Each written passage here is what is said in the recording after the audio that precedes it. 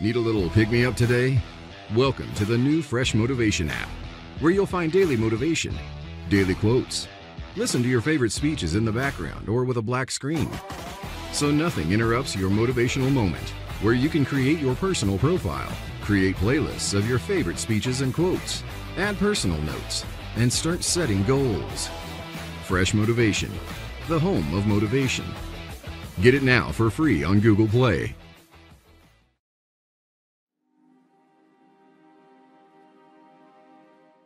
The battle is actually in your head.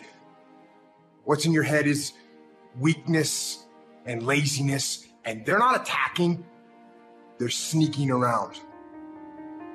They're poisoning the strength in your brain. If you just decide, I'm going to keep my word, if I say something, I'm going to do it regardless. Being more disciplined. Find something that you can look at your life that you say, hey, I know I've got a problem in this area, being late, procrastinating, not taking care of business, being seriously not serious. I need to deal with that. The system we live in and contribute to is designed to make the easiest things in life the most unprofitable. Our world is and always will be a constant battle between the life of ease and its momentary rewards and a life of discipline. Each has its own price. We will pay one or the other. At the end of your feelings is nothing, but at the end of every principle is a promise. Behind your little feelings, it might not be absolutely nothing at the end of your little feelings, but behind every principle is a promise. And some of you in your life, the reason why you're not at your goal right now, because you're just all about your feelings. You're all on your feelings. You don't feel like waking up. So who does? Every day you say no to your dreams, you might be pushing your dreams back a whole six months, a whole year. That one single day, that one day you didn't get up could have pushed your stuff back I don't know how long. Do not be conformed to this world, but be transformed by the renewing of your minds. Do you have a mind to change? Do you have the mindset to be blessed? You have to decide to be blessed. The next time that you're feeling weak or you're feeling lazy or you're feeling emotional, tell them you are declaring martial law on your mind and impose what you want on your brain and use that mind control to move your life where you want it to be. People around you change. And you can't, sometimes it's for the better, but sometimes it's not. And it's not bad. It's just that season was over in my life. And so here's the thing. If we try to keep hanging on to something when God is finished with it, there's no point in continuing to try to hang on to something that God's done with because all it's going to do is keep you from the next great thing that God has for you. I feel real strongly tonight to tell you guys spring is right around the corner. Don't give up and don't be afraid of change and don't keep trying to hang on to something that's just not working anymore. Trust God for something better. What really stops us from taking the lead and coming to the forefront a lot of times is not the lack of talent, it's not the lack the lack of education. I've been amazed at the people I have met who were highly educated and failing. Highly educated and homeless. So education alone is not the solution. I've worked in penal institutions and seen people who were very gifted and incarcerated. In fact, I've seen people with less talent than you doing more than you. And this is what causes jealousy and envy. When you look and you meet other people who have less to work with than you, and yet they're in higher positions than you, you can either become jealous or you can begin to challenge yourself to say, what is wrong with my belief systems that's stopping me from going to the next level in this area? This is not about money necessarily. This is not about prestige necessarily. This is about progress. Because it's a shame to live long and have no progress.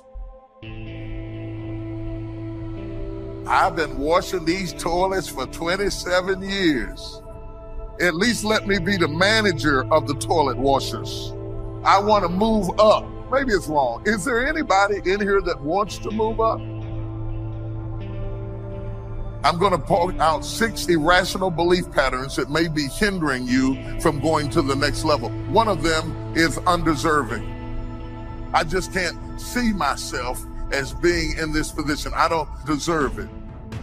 This often comes from things that people said to you or about you. And so when you see opportunities beyond how you've been programmed, you reject it because you don't feel like you're deserving of it. Beyond undeserving is ordinary. I do not want to stand apart or be different. You'd be surprised at the people because they have a belief system that holds on to being ordinary, they will not take the lead. The third belief system that may be hindering you is social change. I fear rejection, loneliness, or claims that I have changed or sold out. And all of a sudden, in order to fit in in your sociological environment, you passed up the promotion. You wouldn't buy the house that was the best deal for you because it moved you out of the neighborhood that you were defined by because you want the people you're sitting beside to like you and accept you. Oh, and you don't want to be a sellout.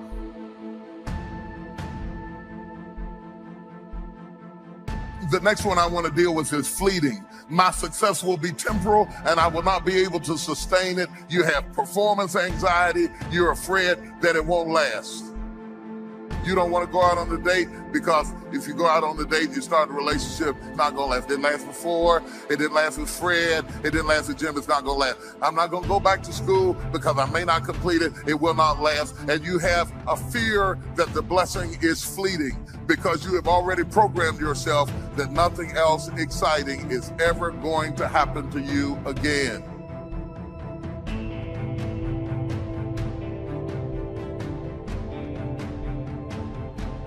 The next one I want to talk about is perfectionism.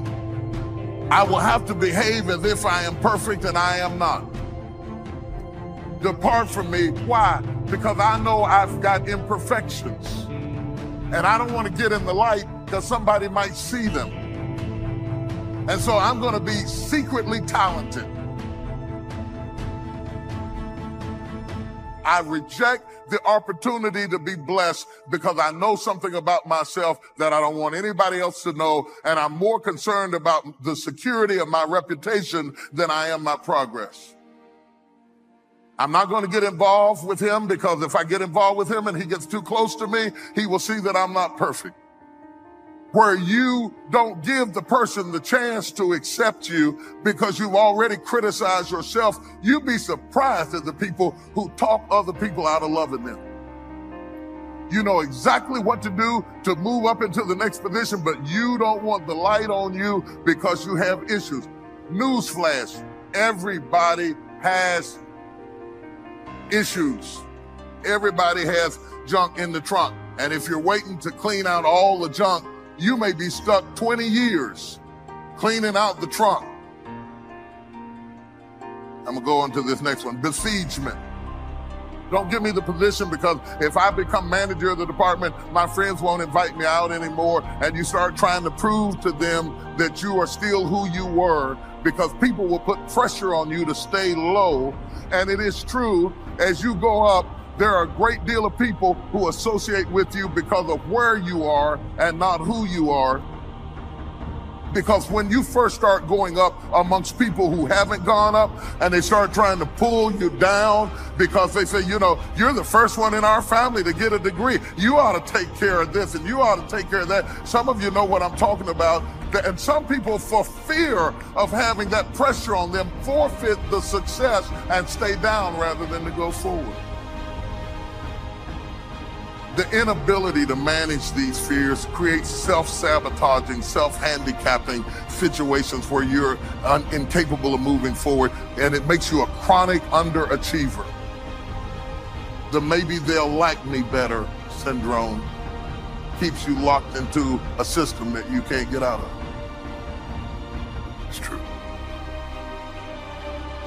When you're absolutely certain that if I do this, it's going to get that result and that result's going to change my life, you'll do it. When you think it absolutely is not going to work, you're never going to do it. The middle no man's land of maybe it'll work, maybe it won't, that's the piece that kills people. If it's a must for you, you got to make it work.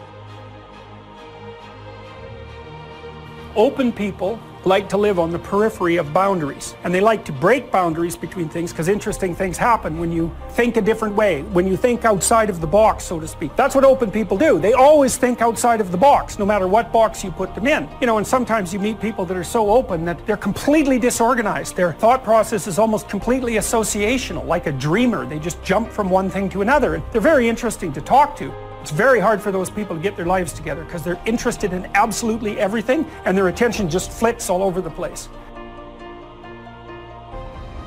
I'm asking you to have some faith, have some courage, believe, drive your doubts into a small corner. Don't let them loose like a mad dog, drive you into a small corner. Don't doubt the future, don't doubt the possibilities, and here's the most important one of all. Don't doubt yourself.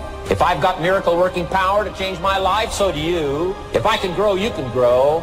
I'm asking you, don't sell yourself short. We got to go backwards to get better. We got to go all the way back to get better. I have to be comfortable in my life to accept that sometimes loss is the way to gain. To know that sometimes the most painful moments are the most purposeful moments. I have to be comfortable in my life to stop comparing myself so much with people who are not meant to be the standard anyway. Now, I don't know what you're facing today, but I notice everybody in this room is facing something. If it ain't nothing but life. If you don't have nothing to fight but life, if everybody likes you and you're just as beautiful as you can be and as healthy as an Olympian, if you deal with nothing but life, life will try you to the breaking point. You have to decide that you're going to be in control and that you are going to do what you want to do. You are the machine and you can control the machine. Weakness doesn't get a vote. Sadness, no vote. Frustration, no vote. I don't even give my temper a vote. If we have any lack, it is not because we lack money or opportunity or resources. It is because we lack ideas that have taken form from information. If you search, you will find. So that is the way to discover ideas and life-changing information. Search.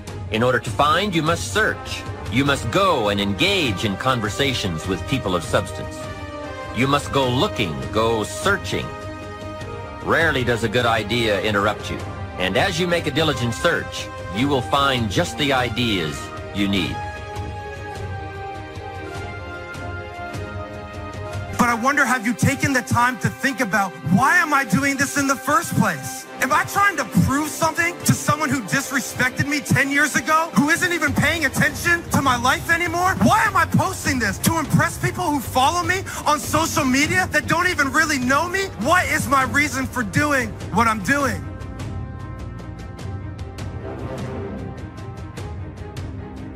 On the outside, people don't look broken. You don't see bruises and you don't see scratches and you don't see scrapes and people don't walk around in a big cast. And so you can't tell with the naked eye. The problem is that there's a malfunction on the inside.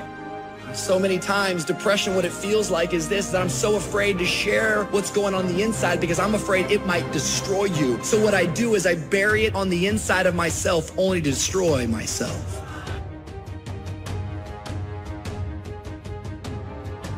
Motivation gets you going. Discipline, commitment, strong habits is what gets things done. Commit once. You don't need to commit more than once. You commit once to the thing that you're going to do, and then you do it every single day. That everyday method is the is one of the most powerful methods for reconstructing your entire life. You just go, and procrastination dies. So don't wonder how you overcome procrastination. It's easy. All you do to overcome procrastination is go. We all have these tough moments in life. They can make you or they can break you. Come on now. Come on. Bring it. Come on now. I had to replace fearfulness with being fearless and take the initiative to do something else with my life.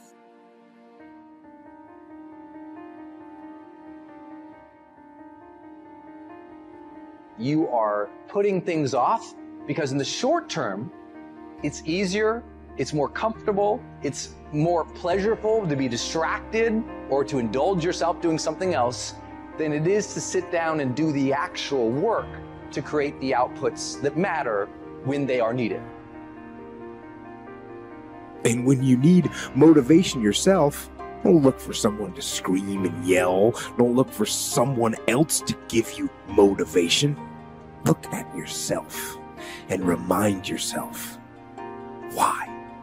Why you are doing what you are doing. Remind yourself that this struggle, this temporary pain, this fight, this fight that you're in, this is what will make you stronger and faster and smarter and better. We find ourselves announcing our standards to our relatives, our friends, our associates. We shout our beliefs and condemn those who believe any differently, but then we don't walk the talk. Do as I say, not as I do. This is inconsistent. This leads to a loss of credibility among those who watch us. The human mind isn't used merely because we take it for granted. Familiarity breeds contempt. It can do any kind of job we assign to it, but generally speaking, we use it for little jobs instead of big important ones. Decide now, what is it you want? Plant your goal in your mind. It's the most important decision you ever make in your entire life. You just can't turn on passion. You can't just turn on the desire to execute a task. Just doesn't work that way. And honestly, that isn't even what motivate means. To motivate actually means to provide a motive, a reason why. We've got a chance to grow like never before, but I'm telling you, there's going to be many enemies that's going to try to prevent us. Whatever threatens you, I'm asking you to threaten it back. Take care of your responsibility. Somebody wants to destroy your chances for a good future by their negative talk, negative thinking, putting it all down, I'm telling you. Walk away if you have to. Walk away. Whatever threatens you, threaten it back. Whatever threatens your opportunity, threaten it back. Now, some of our enemies are on the outside, but here's the most important thing to understand. Some of our enemies are on the inside. You got to do battle with your own indifference. And you've got to learn not only to nourish your values, you've got to learn to do battle with your enemies. You can have what other people can't have. You can go where other people can't go. You can ask what other people can't ask for because you are not a whosoever. Quit acting like a whosoever. Quit asking like a whosoever. Quit asking like you don't have a right to go in boldly and ask. You are a chosen generation. You are a peculiar people. Say, I'm not a whosoever.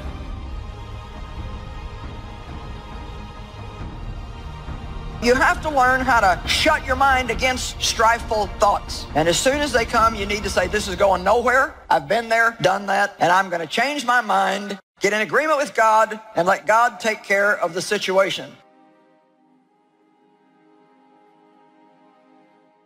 Our problems do not overshadow our purpose. Our weaknesses do not discount our work, and our deficiencies definitely do not delay our destiny. We have to learn how to work our weakness. You got to work your weakness because all of us to some degree have a thorn in our flesh. We all have gaps, we all have deficiency, we've all made mistakes, we've all got these things that feel like a thorn in our flesh.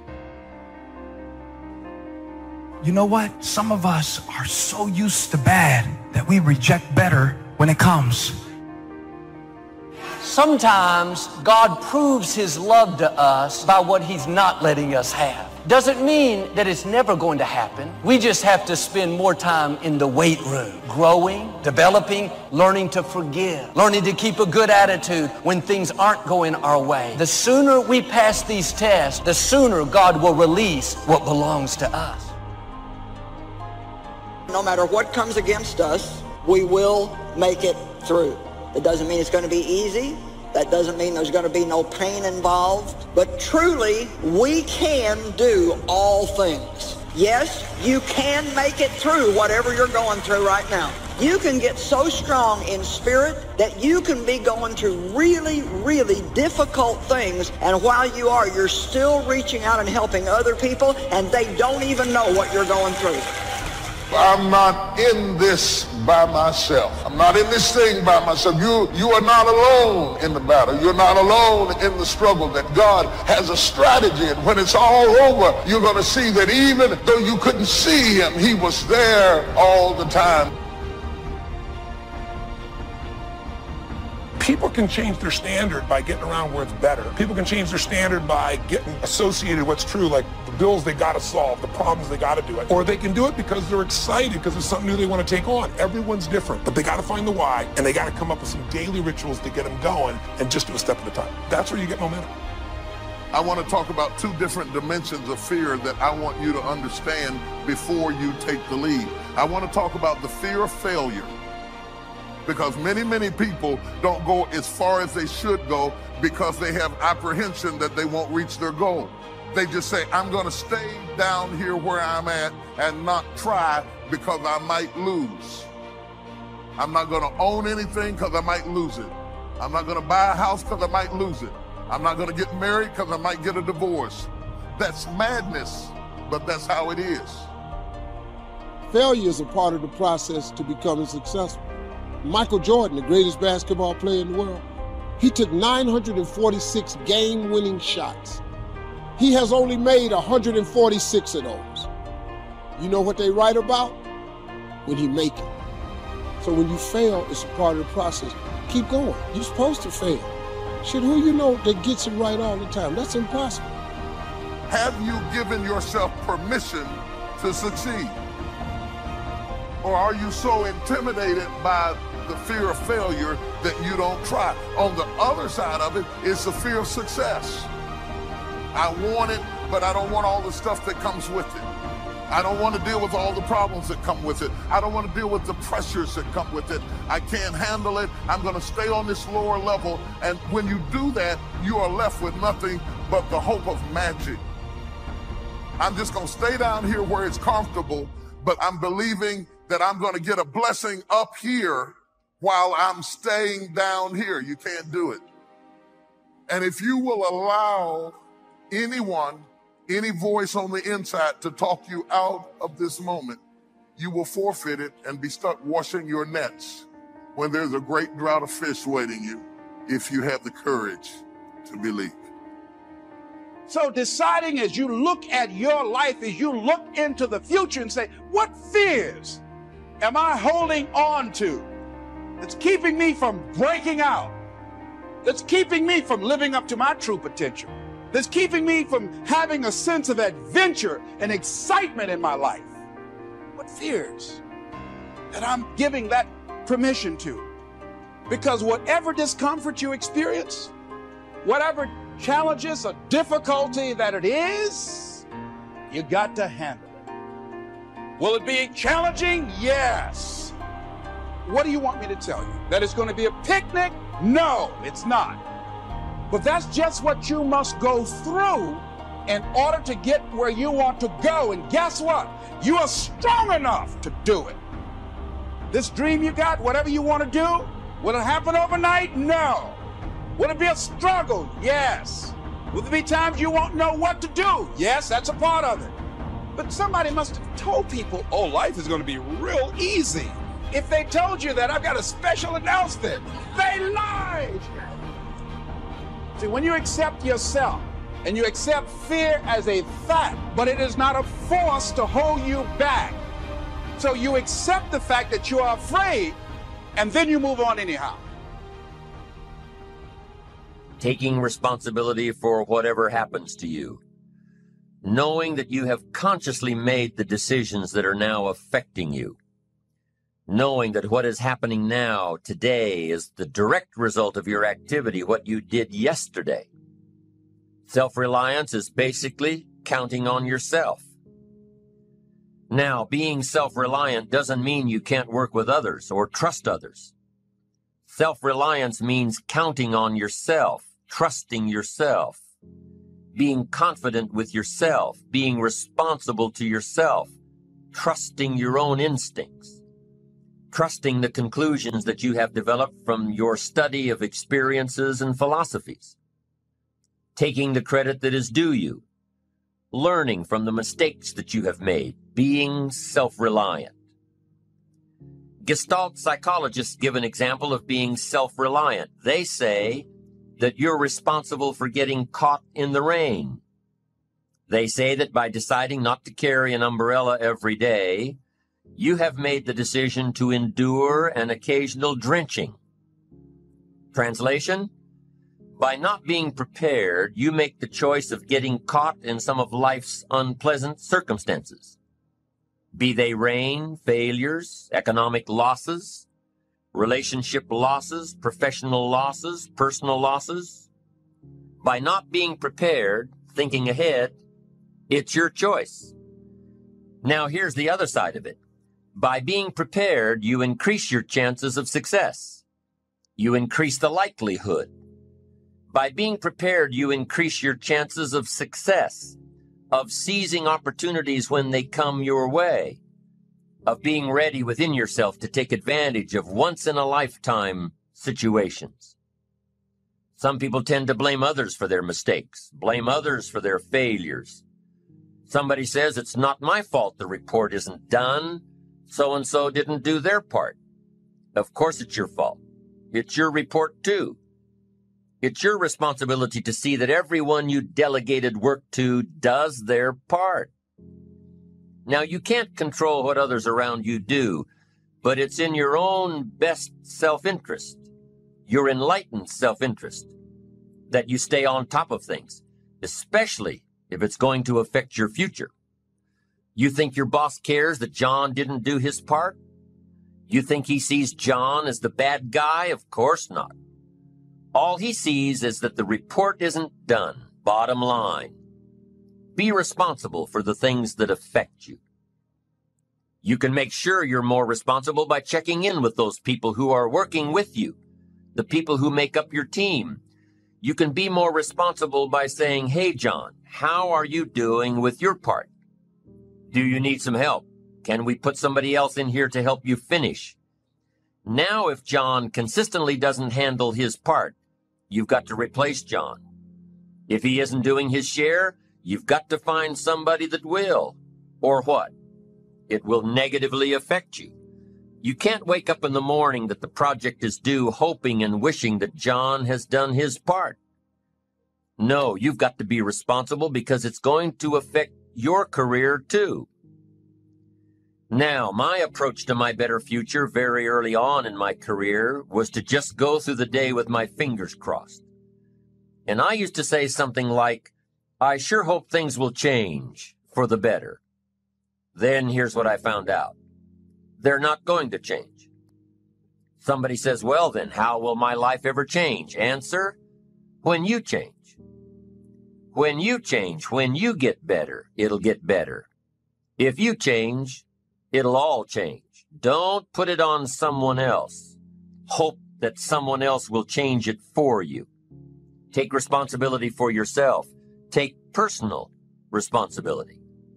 You can't change the circumstances or the seasons or the wind, but you can change your reading habits. You can change whether or not you go for the skills burn the midnight oil, turn yourself around, multiply your value by two, three, five, ten. That you've got charge of. That you have control of.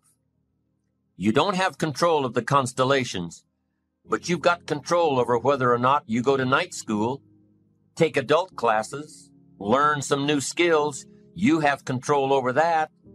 And if you don't, that's your fault. You've got to take personal responsibility. You've got to be self-reliant. You, you, you. Nobody else can change your life, alter your ambitions, pave a golden road for you. But you can. It's up to you. Be responsible for yourself. Learn to reap the harvest without complaint. This is a sign of growing maturity. And here's where it comes from taking full responsibility. Take full responsibility for everything you do. Be responsible to yourself. It's your crop. Whatever your paycheck is, take full responsibility. You say, well, it's my employer. No, it's not your employer. You can become twice as valuable, three times as valuable. Burn the midnight oil, learn some more skills, bring more value to the marketplace, I'm telling you, whatever your harvest is, take it without complaint. Take it without blaming others. Self preparation leads to control over your life. We discussed this in the last session. Whenever you prepare correctly, taking all of the steps you're supposed to take, doing everything in your power to stay on track, whenever your preparations lead to success, achieving your goals, you reinforce the disciplines that got you there. Success leads to reinforcement of the proper disciplines. If what you're doing is working, keep doing it. If what you're doing isn't working, change it.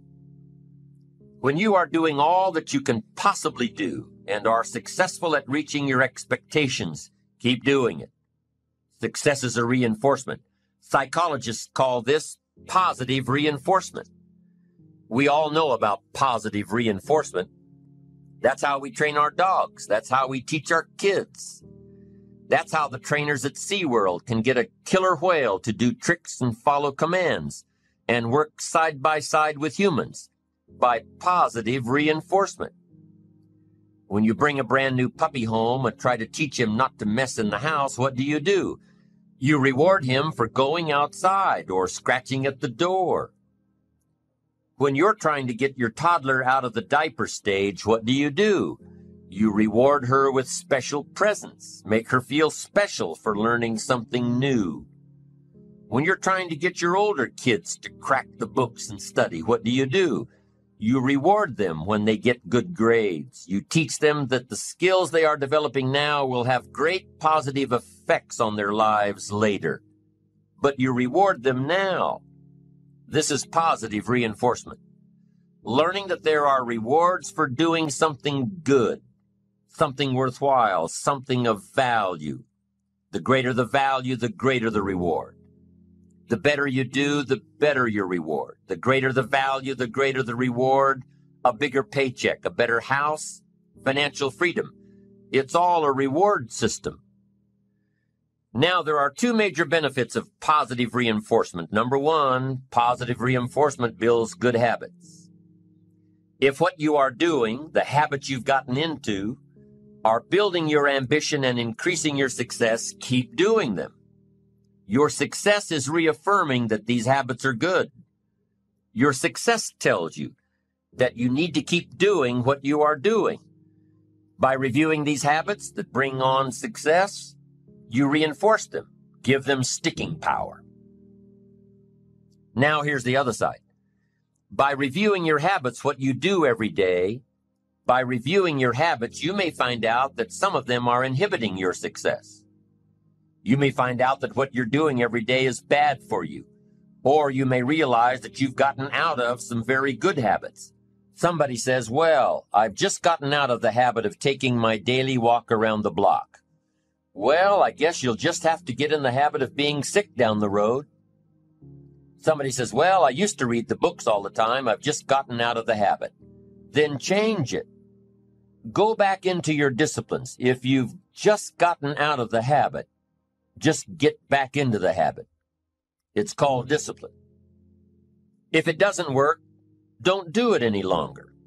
You can keep your fingers crossed if you want to and hope that it'll all straighten out you can wish for the wind not to blow quite as severely, to change in your favor, but we call that naive at best. If the habits that you've gotten into aren't serving you, change them. You can't keep doing this any longer. Don't wish for a better wind. The key is to wish for the wisdom to set a better sail. Utilize whatever wind that blows to take you where you want to go. That is the philosophy I picked up at age 25 and it revolutionized my whole life. And here's what I found I found it was easy. I became a millionaire when I was 31, and I found it was easy. Now, here's my definition of easy it was something I could do. I figure if it's something you can do, it's easy. But here's a little parenthesis I worked hard at it. I made sure my disciplines were in line. I made sure my habits were good. I made sure I did all that I could. I found something that I could do, but I worked hard at it. I got up early, stayed up late, and worked hard from age 25 to 31. But what I did was easy, meaning it was something I could do. Well, you say, Mr. Rohn, if it was so easy, how come during those six years all those other people around you didn't get rich? Here's why. It's easy not to. How else would you describe it? That's it. It's easy to keep doing the things that don't work. It's easy to keep bad habits. It's easy not to develop the disciplines. It's easy not to. So how come I got rich and they didn't? Here's a philosophical phrase. The things that are easy to do are also easy not to do. That's the difference between success and failure, between daydreams and ambitions. Here's the key formula for success. A few disciplines practiced every day. And those disciplines have to be well thought out. What should you spend your time doing? Don't waste your time on things that aren't going to matter. But a few simple disciplines can change your whole economic future. Future with your family, future with your business, future with your enterprise, your sales career, your management career. A few simple disciplines, a few simple habits, good habits, repeated every day. Now here's the formula for failure errors in judgment, repeated every day. All you've got to do is to have a few errors in your judgment and repeat them every day. I'm telling you, they'll spin out of control in 10 years. You'll end up driving what you don't want to drive, wearing what you don't want to wear, living where you don't want to live, earning what you don't want to earn. A few errors every day, bad habits every day. It's disastrous. Now, here's why it's easy to repeat an error in judgment because failure doesn't fall at the end of the first day. Bad habits don't show their horrible results at the end of the first day, or the first week, or the first month. It's easy to get faked out. If disaster fell on us at the end of the first week, we'd change our philosophy. But it's so subtle. Errors in judgment, bad habits. They're so subtle. They get you a little off course, a little off course, a little off course. You keep drifting off course, and all of a sudden you're caught. So you've got the choice right now of one of two easies easy to do or easy not to do. I can give you in one sentence how I got rich by the time I was 31. I did not neglect to do the easy things I could do for six years. I did not neglect. That's the key. I found something easy I could do that led to fortune, and I did not neglect to do it. The major reason for not having more of what you want in America more health, more money, more power, more influence, more everything. The major reason is simple neglect. Neglect and if you don't take care of neglect, it becomes an infection, and then it becomes a disease. So if you're in the habit of not doing it, doing all it takes to get ahead, get in the habit of doing it. Doing all it takes. That's the first benefit of positive reinforcement, building good habits. Now, the second benefit of positive reinforcement is that it creates the energy to fuel additional achievement. It gives you the drive to do more, to not only keep on doing what's right, but to do more of what's right. The disciplines that will help you grow and get ahead of it all. The knowledge that what you're doing is paying off creates more energy to keep going. How easy is it to get up in the morning when you know you're not doing all that it takes? It's not very easy at all. You can just lay there awake thinking, oh, what's a few more minutes in bed? It won't matter much anyway. Wrong. It does matter. It will matter. Now, how easy is it to get up in the morning when you're pouring it on, doing the best you can, anxious to get going, make progress toward your dreams? It's a whole different story. When you're resting to renew your reserves, it's much different than resting to avoid your day. When you're psyched up and excited for your life When you're excited for what you've planned to accomplish for the day, it's amazing you'll wake up before the alarm clock even tries to startle you awake. Your successes fuel your ambition. Your successes give you extra energy. Your successes pave the way for more successes. It's the snowball effect. With one success, you're excited to meet another, and another, and another. And pretty soon, the disciplines that were so difficult in the beginning, the disciplines that got you going, are now part of your philosophy.